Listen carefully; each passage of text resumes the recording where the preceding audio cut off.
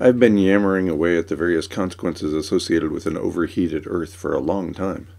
Stunningly, in all that time, I've yet to mention human health. I've described loss of habitat for human animals, although I've yet to talk about other consequences, such as diseases and ailments that result from a warming planet.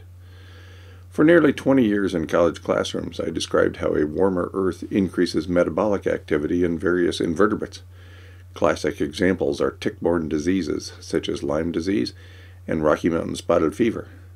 These diseases have increased greatly as Earth has warmed. However, I've yet to describe the many other negative consequences in this space. A short overview of the current situation is in order. As I have pointed out repeatedly in this space, even the designed to fail Intergovernmental Panel on Climate Change has concluded Earth is amid the most rapid change in planetary history. The IPCC also concluded climate change is irreversible. These two reports, issued less than a year apart, have correctly concluded that Earth is amid abrupt, irreversible climate change. Both reports were published more than five years ago, yet this critically important information is rarely mentioned by media personalities, government officials, or paid climate scientists. It's worse than that, of course. According to an annual report released by the World Meteorological Organization on October 28, 2024, greenhouse gas concentrations surge again to new record in 2023. That, in fact, is the title of a press release. Here's the lead. Quote, Greenhouse gas levels surged to a new record in 2023, committing the planet to rising temperatures for many years to come, according to a report from the World Meteorological Organization. End quote. The next sentence completes the first paragraph. Quote, Carbon dioxide is accumulating in the atmosphere faster than any time experienced during human existence, rising by more than 10% in just two decades. End quote. The press release continues with five key messages. One, quote, CO2 concentrations have increased 11.4% in just 20 years, end quote. Two, quote, Long lifetime of CO2 in atmosphere locks in future temperature increase. End quote. Three, quote, El Nino and vegetation fires fuel surge in later part of 2023. End quote. Four, quote, effectiveness of carbon sinks like forests cannot be taken for granted. End quote. And five, quote, improved understanding of carbon climate feedbacks is needed. End quote. Compared to pre industrial numbers, global atmospheric CO2 was 151% higher. Relative to the pre 1750 standard, atmospheric methane was 265% higher, and nitrous oxide was 125% higher. Global average atmospheric concentrations were 420 parts per million for atmospheric carbon dioxide, 1,934 parts per million billion for methane, and 336.9 parts per billion nitrous oxide. These numbers are extremely high and far exceed the figures stated by the Advisory Group on Greenhouse Gases as warranting extreme concern. With respect to these statistics in the press release, World Meteorological Organization Secretary General Celeste Saulo said, quote, Another year, another record. This should set alarm bells ringing among decision makers.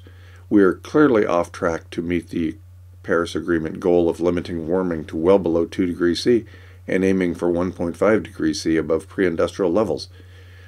These are more than just statistics. Every part per million and every fraction of a degree temperature increase has a real impact on our lives and our planet. We are, quote, clearly off track to meet the Paris Agreement goal of limiting warming to well below 2 degrees C and aiming for 1.5 degrees C above pre industrial levels, end quote. After all, governments of the world concluded we had surpassed the 2 degrees C Rubicon more than a year ago. World Meteorological Organization Deputy Secretary General Ko Barrett is quoted in the press release. Quote, the World Meteorological Organization's annual greenhouse gas bulletin warn, warns that we face a potential vicious cycle. Natural climate variability plays a big role in carbon cycle, but in the near future, climate change itself could cause ecosystems to become larger sources of greenhouse gases. Wildfires could release more carbon emissions into the atmosphere, whilst the warmer ocean might absorb less CO2. Consequently, more CO2 could stay in the atmosphere to accelerate global warming. These climate feedbacks are critical concerns to human society. There's no doubt, quote, these climate feedbacks are critical concerns to human society, After all, they represent self reinforcing feedback loops, only one of which is necessary to ensure the irreversibility of climate change. The World Meteorological Organization Deputy Secretary General apparently is unaware that the IPCC admitted that we have already triggered a self reinforcing feedback loop in its September 24, 2019 IPCC special report on the ocean and cryosphere in a changing climate. According to the press release, quote, the last time the Earth experienced a comparable concentration of CO2 was 3 to 5 million years ago, when the temperature was 2, degree, 2 to 3 degrees C warmer and sea level was 10 to 20 meters higher than now. However, greenhouse gases in the atmosphere were accumulating far more slowly 3 to 5 million years ago than they are today. In addition to increased metabolic activity exhibited by ticks and other invertebrates, there are many other adverse consequences of a warming planet for human health. On October 28, 2024, an article in The Guardian reported via the lead that, quote, miscarriages, premature babies, and harm to mothers caused by the climate crisis are a blind spot in action plans, according to a report aimed at the decision makers who will attend the COP29 summit, summit in November. End quote. The article in The Guardian goes on to quote the United Nations Secretary General Antonio Guterres. Quote, We're playing with fire, but there can be no more playing for time. We're out of time. End quote.